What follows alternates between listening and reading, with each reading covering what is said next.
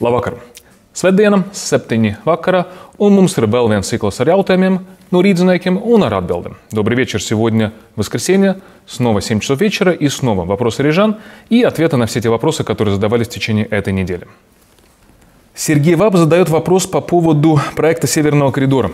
Северный коридор – это проект, который включает в себя и дублер улицы Брейбас, и, соответственно, туннель э, севернее от Ванта моста, который соединил бы Пардаугово и правый берег к Риге. Решение, которое мы принимали в этом году, было непростым, потому что у нас есть доступные европейские средства, и нужно было, в принципе, выбрать.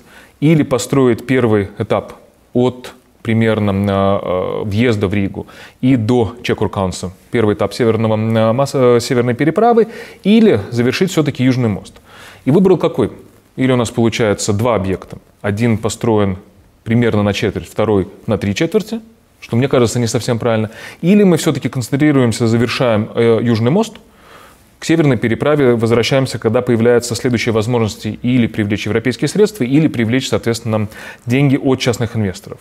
Мне кажется, решение, которое было принято перекинуть европейские деньги на то, чтобы завершить Южный мост, на то, чтобы соединить существующий весь комплекс с улицей Венебасгатвас, оно правильное, потому что в результате этого решения у нас появится один полностью завершенный объект, который соединяет правый берег, который соединяет Пардаугово, который позволяет убрать полностью грузовой транспорт из центра города.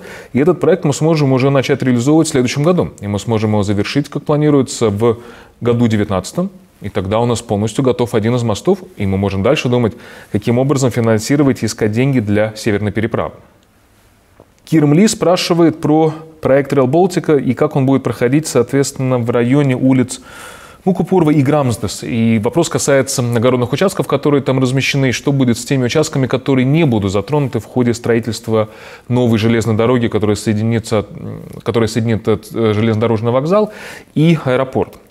А проект реализовывает не Рижская дума, проект реализовывает Министерство сообщения, но мы очень в данной ситуации, хотелось бы подчеркнуть, э, результативно сотрудничаем. И пока то, что мы знаем, по той информации, которая нам предоставляется, что вдоль железной дороги будут построены звукоизолирующие щиты. И это значит, что все те огороды, которые не будут затронуты, и все территории, которые их не коснется строительства новой железнодорожной ветки, их можно будет использовать дальше по их нынешнему назначению.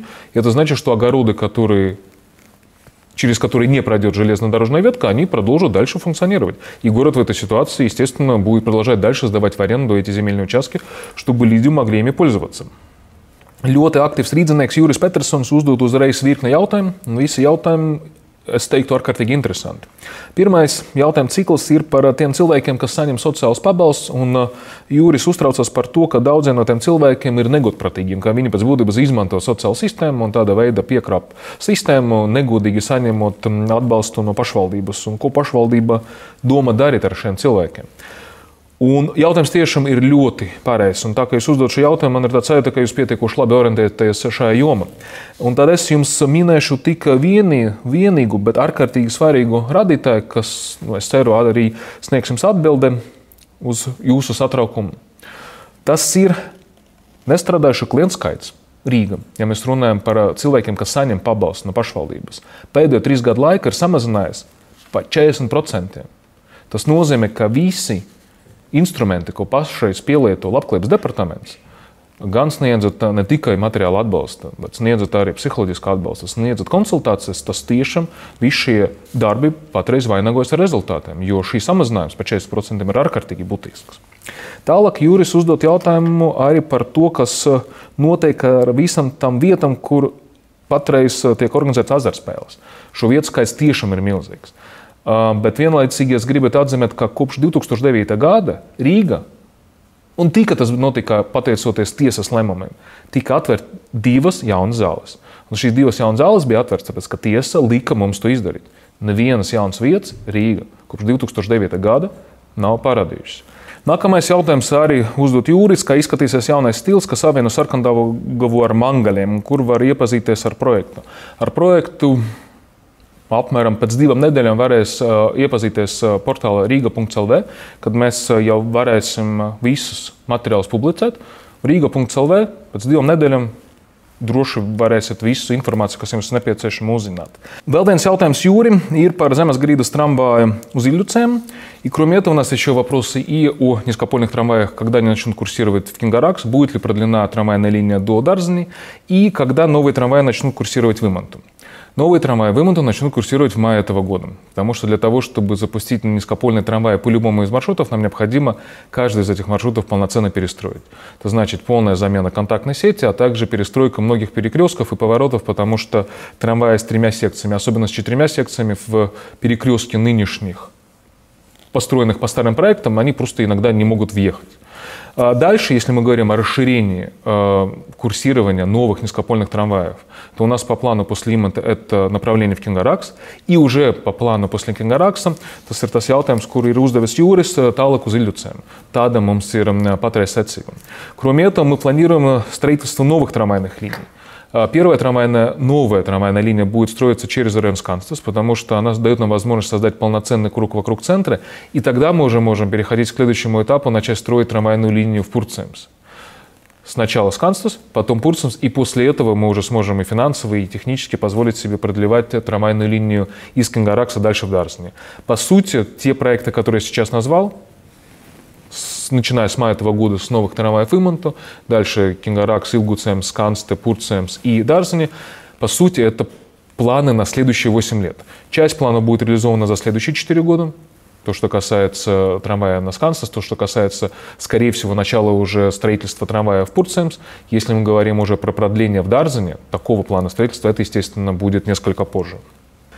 Дмитрий задает вопрос по поводу того, что недавно на улице Элизабетес был ремонт водопровода, и при этом э, уточняет. Рига недавно приняла правила, которые запрещают после э, ремонта коммуникаций э, применять старый метод заплаток, и по которому по этим новым правилам необходимо полностью перекладывать асфальт. Очень правильно вы говорите, Дмитрий, но хотелось бы отметить, что эти правила касаются тех улиц, где проводился в последние три года полноценная замена асфальтового покрытия. Как, например, в случае с улицей Лачплыша, скажем, или или в случае с улицы Брибес, там, где уже были закончены ремонтные работы. Если на этих улицах в течение следующих трех лет кто-то по каким-либо причинам, будь то плановые ремонтные работы или аварийные, скроет асфальтовое покрытие, тогда там необходимо будет асфальтовое покрытие заменить от бордюра и до осевой линии. Улица Элизабетас асфальтовое покрытие будет полностью заменено в этом году. Поэтому на улице Элизабетас, во-первых, мы все сделали именно в той самой правильной последовательности. Начало коммуникации, а потом асфальт. Но если после этого лета на улице Элизабетас по каким-то причинам будет необходимо опять скрывать асфальтовое покрытие, владельцам коммуникации, то именно владельцы коммуникации должны будут за свой счет заменить асфальт от бордюра и до осевой линии. Дмитрий Хвостков спрашивает про то, что будет и какие планы у нас с ремонтами улиц, потому что улицы у нас как справедливо отмечает Дмитрий, далеко не в самом хорошем состоянии, но при этом э, ремонтировать улицы достаточно массово мы начали уже в 2015 году, когда начались ремонты Островного моста, 2016 год вообще был непростой, как мы все помним. В этом году ремонт улиц будет еще больше, потому что все, что касается направления улицы Валдемара, улица Дунтас дальше до травматологии, э, Брасовский мост, в центре Элизабета, Смертеля, э, Дзирнову, Стабу. Это все будет ремонтироваться в этом году. Начало ремонтных работ и строительство новых эстакад на Островном мосту. Это тоже этот год. Следующий год, то, что можно уже сейчас говорить, это полный, полный ремонт улицы Чака и улицы Мариус, потому что мы не можем в этом году одновременно отремонтировать и э, Валдемара и Чака, потому что тогда город станет. В следующем году планируется ремонт Вантового моста. Параллельно мы сейчас ищем инженерные решения, как отремонтировать воздушный мост или Вефовский мост потому что здесь вопрос, по сути, полной перестройки моста. Если мы хотим, чтобы там было две полноценные полосы для автомобильного транспорта и, по меньшей мере, полноценное организованное движение и для пешеходов, и для велосипедистов. И главный вопрос в том, э, как организовать движение транспорта, общественного транспорта, когда этот мост вообще будет снесен, и надо будет начинать строить новые конструкции. Там же ведь не только машины передвигаются, но еще трамвайная линия, которая идет из Югла. Пока ответить, э, каким образом мы инженерно это решим, я не могу. Над этим работать специалистом, но ВФский мост мы тоже планируем перестраивать. Поэтому на ближайшие годы объем работы у нас немалый. В 2009 году когда мы начали работать, мы приняли, это было политическое решение, что сначала мы концентрируемся на ремонтах школ и детских садов, что нам в значительной степени удалось привести в порядок. С 2015 года мы равную по значимости суммы денег каждый год тратим и на ремонты улиц. Следующие 4 года будет означать, что каждое лето в городе будет немало пробок, но мы постепенно их приведем в порядок. Ангела спрашивает, и не только спрашивает, и в чем-то жалуется о том, что мы в своей работе беспокоимся только о спальных районах и забросили центр. Вопрос очень я бы сказал, бы характерный, потому что жители спальных районов зачастую говорят, вы ремонтируете только центр, жители центра говорят, вы ремонтируете только спальные районы. Мы на самом деле стараемся приводить в порядок в равной степени и центр, и спальный район. Если мы говорим про то, что было сделано за последние годы в центре, давайте вспомним парки. Зедундарс приведен в порядок, Гризенкаунс приведен в порядок. На улице Барона, на месте э, бывшего стадиона Латвийского университета, сейчас начинают строить новый стадион и одну из самых больших в городе детских площадок. Если мы говорим про улицы, то и Лачплыша, и большая часть Брибас. В этом году завершается ликвидация всех мелких дефектов на улице Барона, и уже в апреле улица будет э, полностью приведена в порядок. В этом году в центре города будут действительно масштабные работы. Я здесь хотел бы заранее принести свои извинения, потому что э, и передвигаться на машинах, э, и передвигаться на общественном транспорте действительно будет сложнее несколько летних месяцев, но зато улицы будут приведены в порядок. А если мы говорим про объекты культуры, русская драма отремонтирована, художественный музей отремонтирован, даже городское софинансирование использовать для того, чтобы привести в центре города в порядок и Домский собор, церковь Александра Невского, и плюс параллельно мы помогаем привести в порядок, э, помимо лютеранской православной церкви, мы еще помогаем католикам с собором э, Святого Якоба, который находится рядом с парламентом. В центре города мы уже сделали достаточно. Ну, естественно, позволю себе сказать, что мы сделали много, я не могу. Нам еще придется немало поработать до того, как мы дойдем до стадии, когда центр будет э, полноценно приведен в порядок. Кроме этого, Ангела также жалуется и на велосипедистов в центре города, особенно, как она говорит, очень редкие велосипедисты на улице Барона. Вот здесь, к сожалению, я вынужден буду с вами не согласиться, потому что все прошлое лето я в основном ездил на работу на велосипеде.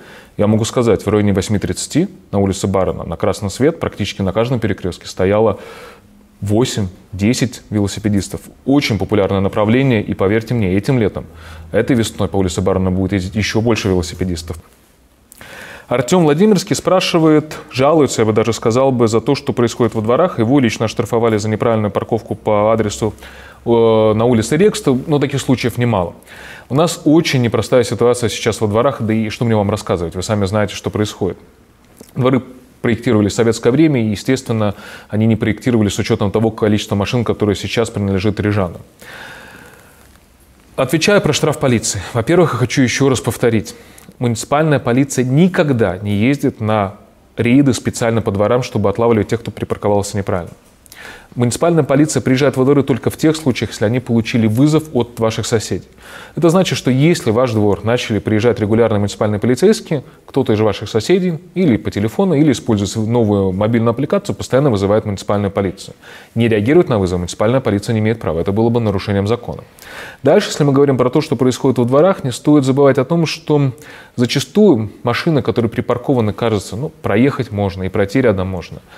Да, другая легковая машина мимо проедет, но если, не дай бог, нужно будет проехать или пожарной машине, или скорой помощи, и пожарная машина, и скорая помощь может уже и не успеть вовремя, потому что улица перегорождена.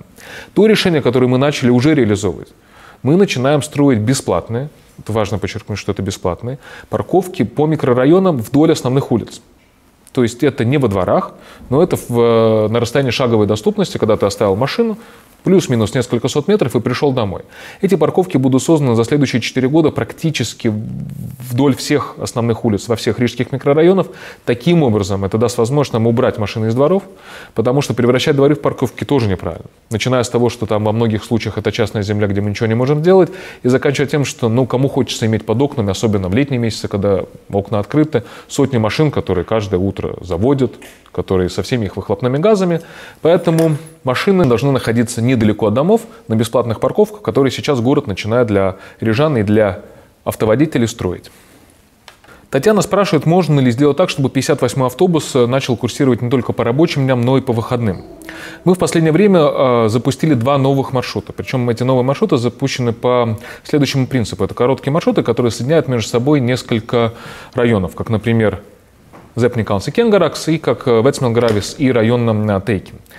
А мы начало запустили все эти автобусные маршруты только по рабочим дням, чтобы посмотреть, какой спрос. Действительно ли пользуются эти направления интересом со стороны рижан. И мы видим, что и 58 и 60 маршруты очень популярны. Это значит, что, скорее всего, уже после лета эти э, маршруты, автобусы по этим маршрутам начнут курсировать также и в выходные дни. Но мы над этим работаем, поэтому после лета будут уже предложены решения, эти решения также будут и реализованы. Очень много вопросов от молодых мам, от молодых родителей по поводу того, когда и где будут появляться новые детские площадки в районах, э, микрорайонах Риги, потому что площадок катастрофически не хватает. Последние годы мы устанавливали новые детские площадки, осознанно только на территориях школ. Потому что у школы есть забор, у школы патрулируют полицейские, у школы есть директор, который отвечает за порядок и, соответственно, следит за тем, что происходит с этими детскими площадками. С этого года мы запускаем новую программу мы находим э, землю, которая принадлежит самоуправлению, которая находится, скажем, между дворами, чтобы каждая новая детская площадка, чтобы она служила не жильцам одного, одного двора, она служила жильцам нескольких дворов. В этом году будет установлено первых 14 больших детских площадок, причем каждая детская площадка – это и детская площадка, и спортивная площадка, чтобы и дети были заняты, и их родители, чтобы всем было удовольствие. Э, площадки в этом году планируется устанавливать в Мэшсемсе, в Пуртсемсе, в Кингараксе, на Штиротаве, в центре, в Балдерае, в Илгуцемсе, в Золитуде и в Зепникалсе. Параллельно мы еще и ищем, какое решение может быть для Яунсемса, потому что в Яунсемсе у нас практически нет муниципальной земли, и, скорее всего, это будет расположено на территории школы. Есть еще несколько вопросов по поводу Иманта и Дарзани. Это те районы, где мы в этом году планируем установить первые 14 комплексов, объединенные большие детские площадки и спортивные площадки с турниками и со всем необходимым оборудованием, чтобы родители тоже могли следить за собой и заниматься спортом и быть приверженцами здорового образа жизни. Inta jauta par to, kas notiek ar brīvības ielu, jo brīvības iela jau ir savesta liela mēra kārtībiem. Mēs runājam par asfalta segām, bet viss, kas notiek ap šo ielu ar pagalmiem, ir ļoti slikta stāvoklī. Īpaši Teikas rajons, Ropaža iela. Šeit, diemžēl, man patreiz nav labas atbildes, jo, piemēram, ap teiku pilsētai pieder apmēram tikai 4% no visiem zemes gabaliem. Ja mēs runājam par Ropažu ielu, tur tikai 2%. Mums praktiski pēc būtības šajos rajonos nekas nepieder. Tas nozīmē, ka uh, mēs turpināsim tālāk veikt pārunas ar zemes īpašniekiem, privātiem zemes īpašniekiem, lai viņi izpildītu nepieciešamas prasības.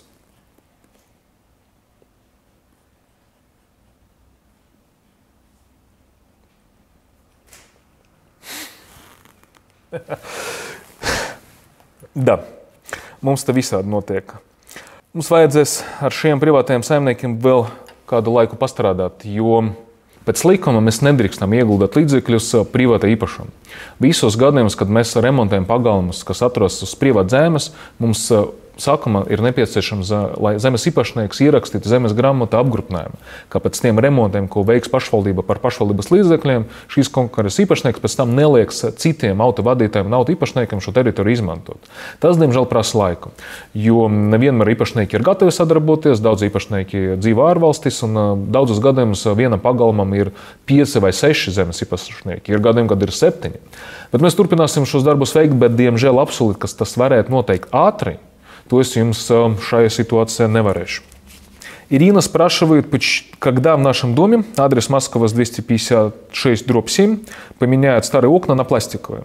С одной стороны, в вашем доме общая задолженность за коммунальные услуги порядка 40 тысяч евро. Если совсем точно выражаться, 41 тысяча евро, что немало. Но учитывая, что жильцы активны, и что жильцы э, работают над тем, чтобы дом управления привело в порядок их дом.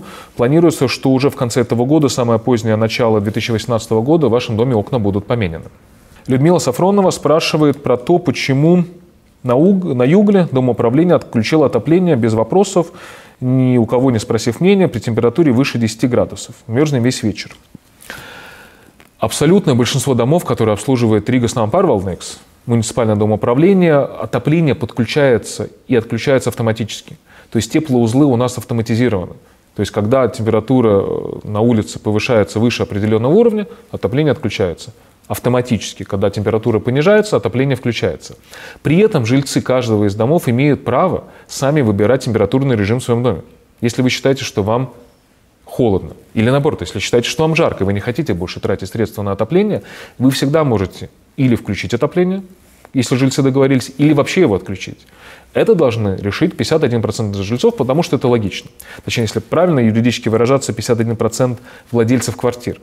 В случае с вашим домом на улице Югла у вас автоматически отопление отключилось, потому что у вас стоит автоматический теплоузел. Это, с одной стороны, правильно, но если вы считаете, что вам холодно, пожалуйста, обратитесь к соседям, и если вы договоритесь, тогда в любой момент отопление можно вернуть обратно. Я надеюсь, что ближайшие несколько месяцев это больше не будет актуально, но когда начнется следующий отопительный сезон, имейте в виду и такую возможность. А, Лорета спрашивает, будут ли в Риге сноситься или ремонтироваться старые дома, потому что эти дома действительно портят внешний облик нашего города. За последние годы в Риге в общей сумме примерно 500 домов, которые были в очень плохом техническом состоянии, были или приведены в порядок, или снесены благодаря тому, что город сейчас очень активно использует э, налог на недвижимую собственность как инструмент, чтобы заставить владельцев свою собственность привести в порядок.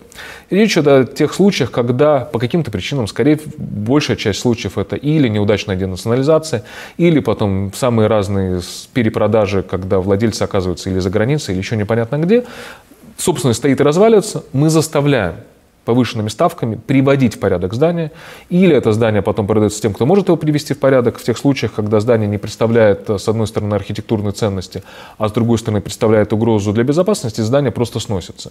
Примерно 500 объектов уже в городе приведены в порядок. Но, с другой стороны, не стоит забывать о том, что самоуправлению из тех зданий, которые выглядят плохо или которые разваливаются, сейчас не принадлежит больше ни одно. Все Здания, которые выглядят плохо, это частная собственность. И с частными владельцами мы по возможности работаем, используя самые разные инструменты. В некоторых случаях мы даем софинансирование. Если кто-то хочет привести в порядок исторический фасад, мы помогаем деньгами. А если кто-то не хочет приводить свое здание в порядок, и оно разваливается, и кирпичи падают на голову прохожим, тогда мы просто повышаем ставку и заставляем это здание привести в норму владельцев за свой счет. Пользователь, наверное, это не настоящее его имя, потому что он пишет, что его зовут Марк Аврели. Он спрашивает, что я думаю по поводу всех последних высказываний в свой адрес со стороны э, Бондерса. Это один из кандидатов на этих выборах. Знаете, я вам скажу так. Я недавно мне принесли листовку, которую эта партия, которая представляет Бондерса, распространяет в Пурцемсе. И они обещают так как они провели опрос в Пурцемсе, начать э, строить детские площадки, ремонтировать дворы, э, патрулировать э, полицейские. Бондарс обещает, начнут на улицах Пурцемса. Знаете, мне очень нравится его программа. Мне его программа нравится особенно тем, что все то, что он обещает, мы уже сделали в последние годы. Мы ремонтируем дворы в Пурцемсе, Ремонтируем очень активно. Мы строим новые стадионы в Пурсенсе. Посмотрите только на то, что происходит в районе бывшей свалки на улице Деглова.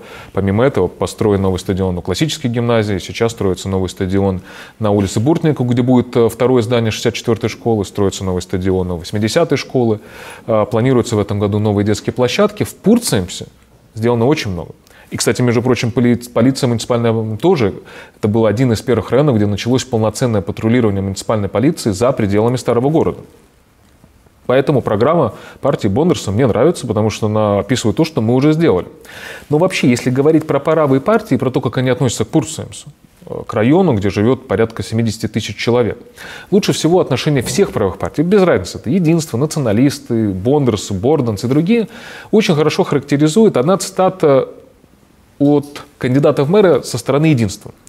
Он один раз, пытаясь каким-то образом, наверное, думал, что он таким образом нас оскорбит, назвал нашу партию, что мы социал-демократы из Пурцемса. То есть для них слово «пурцемс» по сути является ругательным, потому что они там, скорее всего, никогда не были. Тот же самый Бондерс, который обещает э, вся, самые разные блага жителям Пурцемса, он не живет вообще даже в Риге. Для меня, когда меня называют социал-демократом из Пурцемса, для меня это комплимент – а все остальные считают, что Пурсенс – это ругательное слово. Поэтому дальше уже, когда мы говорим про то, что кто высказывает и как кто относится к жителям Риги или к жителям отдельных районов, дальше вывод делайте сами.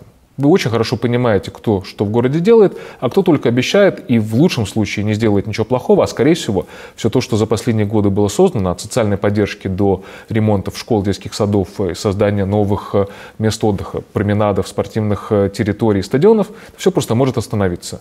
Но опять же, э, как будет развиваться город в следующие 4 года, зависит только от вас, от того, сколько людей просто 3 июня придет и примет участие в выборах, а не останется дома.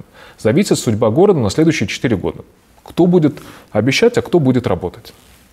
Vēl viens jautājums ir, arī saistīts ar politiku, jo pietiekoši daudz rīznieki, kas nav pieņemuši lēmumu, par ko balsot, un arī nezina, par ko balsot, viņi jautā, ko darīt, kā izdarīt izvēli. Šai situācijai es gribētu pirms ieteikt, par ko balsot. Protams, mana pārstāvēt partija, manuprāt, ir vislabākais risinājums. Bet pirms jūs izdarīsiet šo izvēli, es ieteiktu padomāt par vienu citātu. Tas bija viens Nacionālās apvienības politiķis, cilvēks, kas ieņem pietiekoši augstu amatu un ir cilvēks ar ietekmi savas partijas ietvaros. Imants Parādnieks viņš ir piedāvājis tikko, ka Rīgai vajag vēl lielākā mērā dalīties ar, tieši ar valsti, jo Rīga ir liela, Rīga ir bagāta. Un neskatoties uz to, ka katru gadu mēs pārskaitām pārējām pašvaldībām apmēram 10% no visiem saviem ieņēmumiem, Rīga ir galvenais sponsors un donors šajā situācijā ir izteikts piedāvājums vēl lielākā mērā atņemt naudu, lai atdotu naudu rīznieku samaksātus nodokļus tieši valdībai. Un tas nozīmē, ka pēc būtības jebkādas izmaiņas, kas varētu notikt Rīgā, ja pie varas atnāktu kombinācija no valdības, labiem partijiem un tiem jauniem populistiem, nozīmēs, ka Rīgai vienkārši atņems naudu un visas programmas, kas ir uzsaktas, sākot no brīvbiļetēm un beidzot ar brīvpusdienām, vienkārši beigsies. Tāpēc, ka Rīga sāks palīdzēt valdībai. Man grūti, protams, prognozēt, ko valdība varētu izdarīt ar naudu, ko viņi gribētu atņemt rīzniekiem. Mēs pat konkursu varētu izsludināt, bet skaidrs, ka nekas labs nebūs. Vēl viens jautājums, kas ir tīrāka veida saistīts ar politiku, ir par to, ka Rīga pēdējā gada laikā izmainījies um, etniskais sastāvs, ka latviešu īpatsvars ir palielinājies, krieviski runājušu rīznieku īpatsvars ir samazinājies. Tas ir saistīts tā skaitā ar to, ka Rīgas doma ļoti aktīvi aicina cilvēkus deklarēt savu dzīves vietu, kur viņi faktiski dzīvo, proti Rīga. Un tas arī ir viens no iemesliem šīm izmaiņām. Un, tas, un jautājums ir par to, vai gadiem es neuztraucos par vēlēšanu rezultātiem. Es teikšu godīgi, nē, es neuztraucos. Jo mūsu politika visus šos gadus bija nešķirot rīzniekus, strādāt visu rīznieku labu.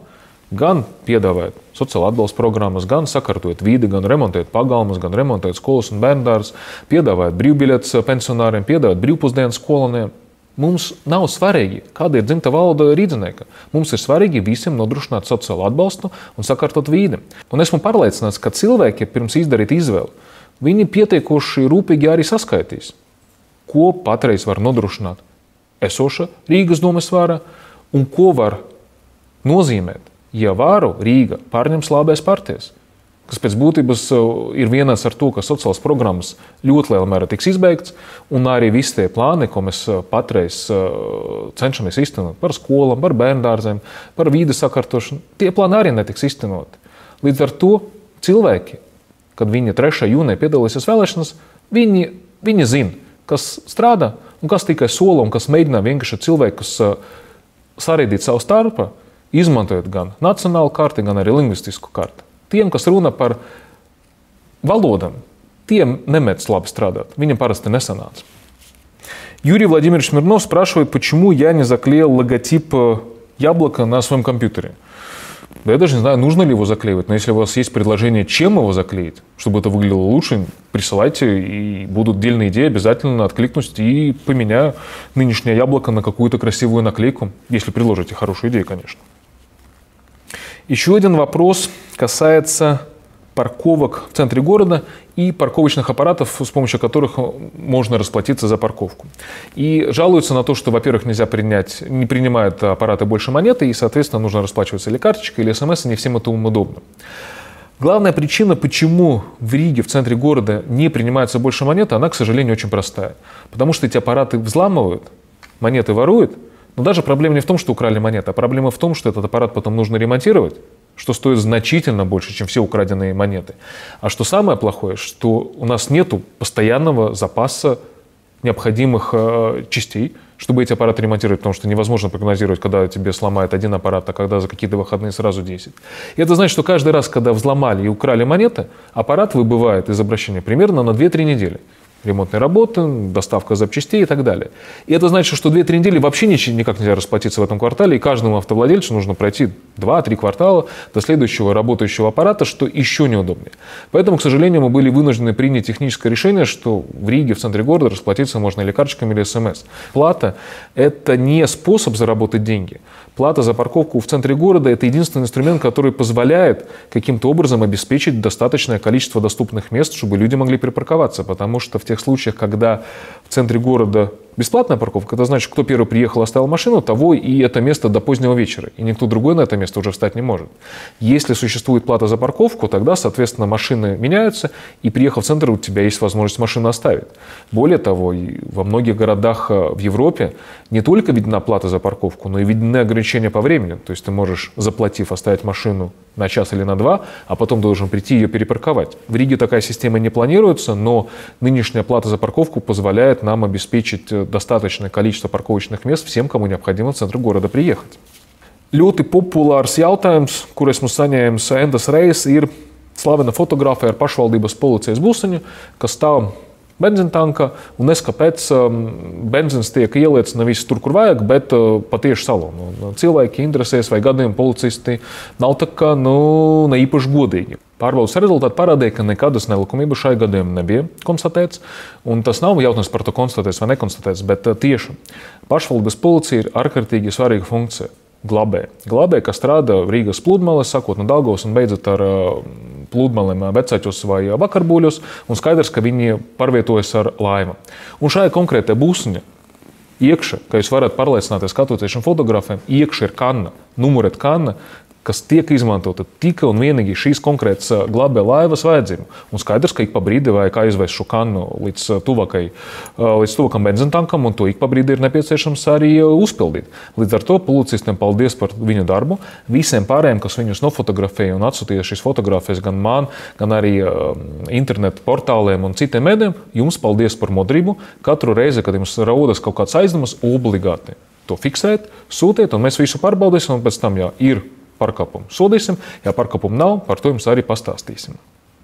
Paldies par visiem atsūtītiem jautājумiem. Nākamreiz мы tiekamies atkal svētdien, atkal 7 вечера.